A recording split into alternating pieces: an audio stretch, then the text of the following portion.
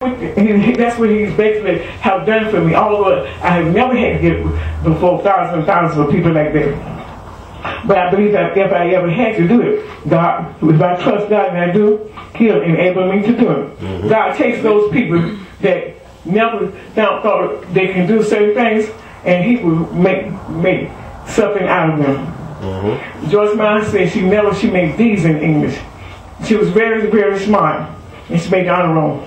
But English was something that she couldn't do that well with. She said, I guess she made good enough to pass. She said she made D's though, but she was always real smart in school. But she, look at her now. She said, I mess English up when I'm up and talking to y'all. She was saying, but look at me now. Speaking for all these people, all those thousands and thousands of people, she goes all over the world. Mm-hmm. No one would ever thought. She said she wouldn't, wouldn't have ever thought she would get there. Mm-hmm.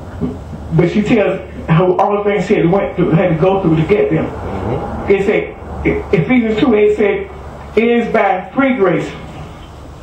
It is by free grace, God's unmeasured favor, that I am saved, delivered from judgment, and made a partaker of Christ's salvation mm-hmm. through my faith.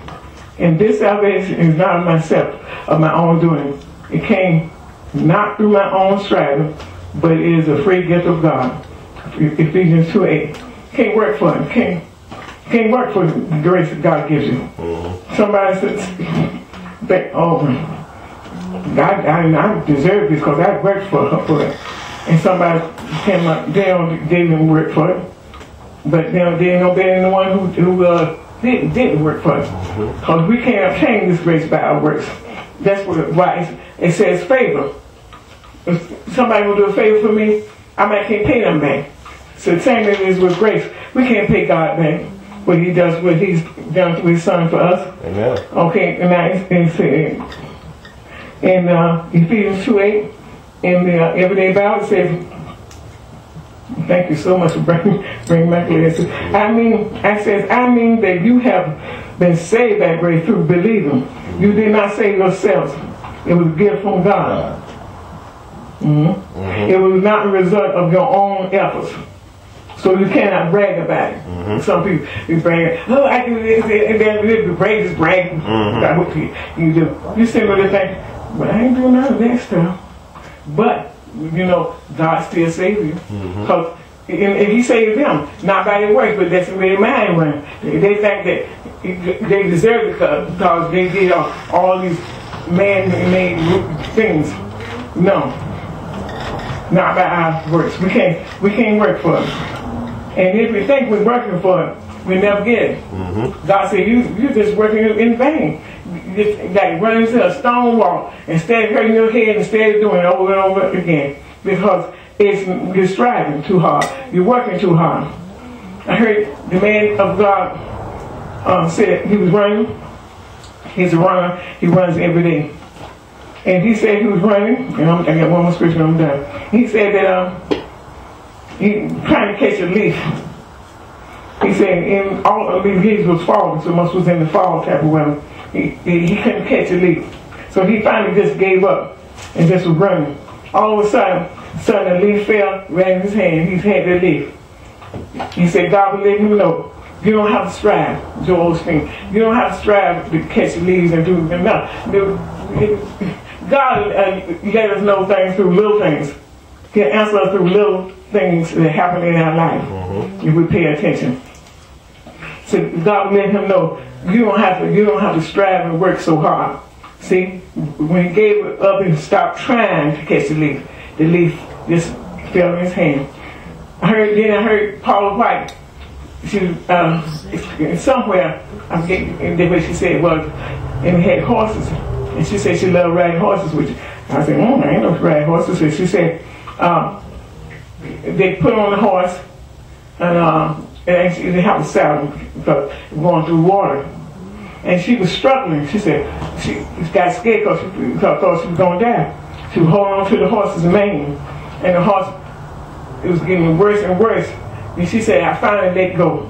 And this horse knew. The horse took her all the way under the water and came out. That, that's what the horse was trained to do. Well, the horse did, does that kind of thing. He all the way under the water and come out like this. It's, She, she, stopped struggling and, and, and pulling on that horse because she thought she was going to drown in there.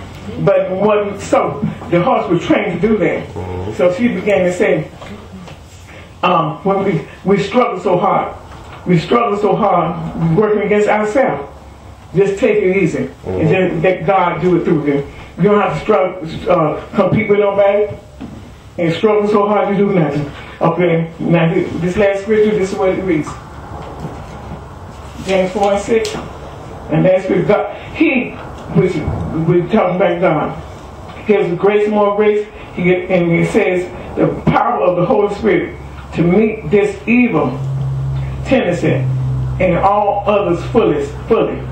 That's why he says God sets himself against the proud and haughty, but gives grace continually to the lowly, those who are humble enough to receive it. James 4 and 6. And here in the, in the Everyday Bible it says, in James 4 and 6, so you are loyal to God. So you are not loyal to God.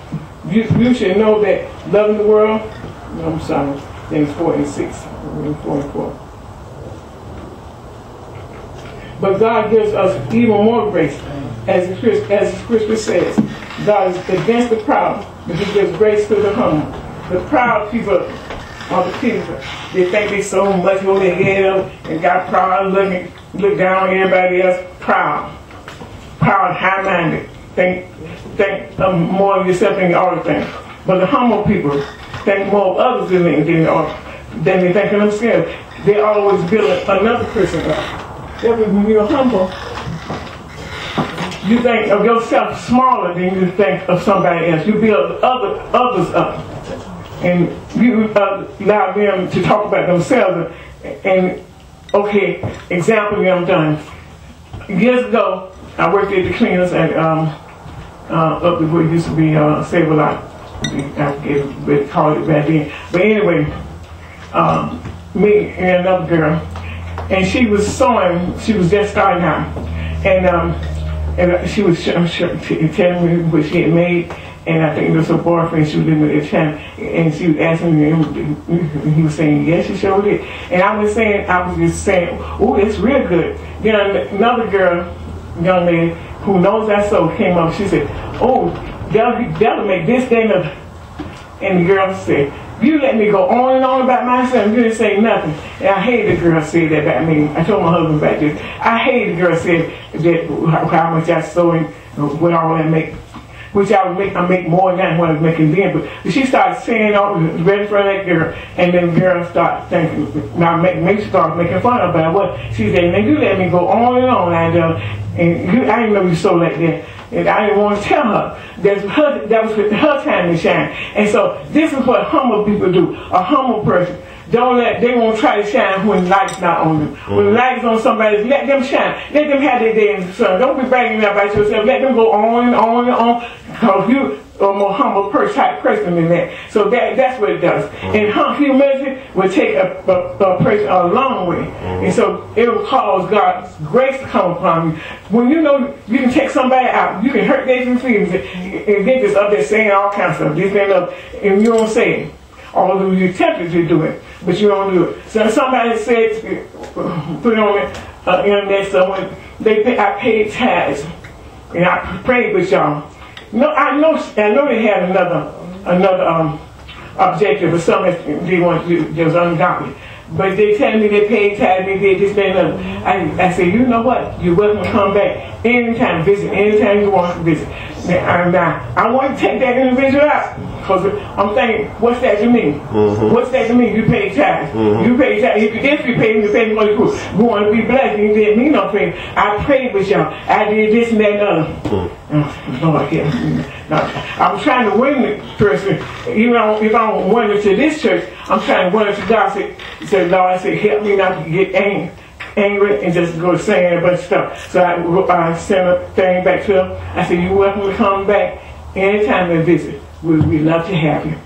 It make it make you it make you uh, don't, don't say things when you want to say it and you know you could. You know you can take them out, but you don't take them out. No, let, let them go ahead. That's what humble people do. And so, so many other things that humble people don't brag about. Humble people don't brag about themselves. They let another person brag about them or brag about their own self. Mm-hmm. Let, let another person say it.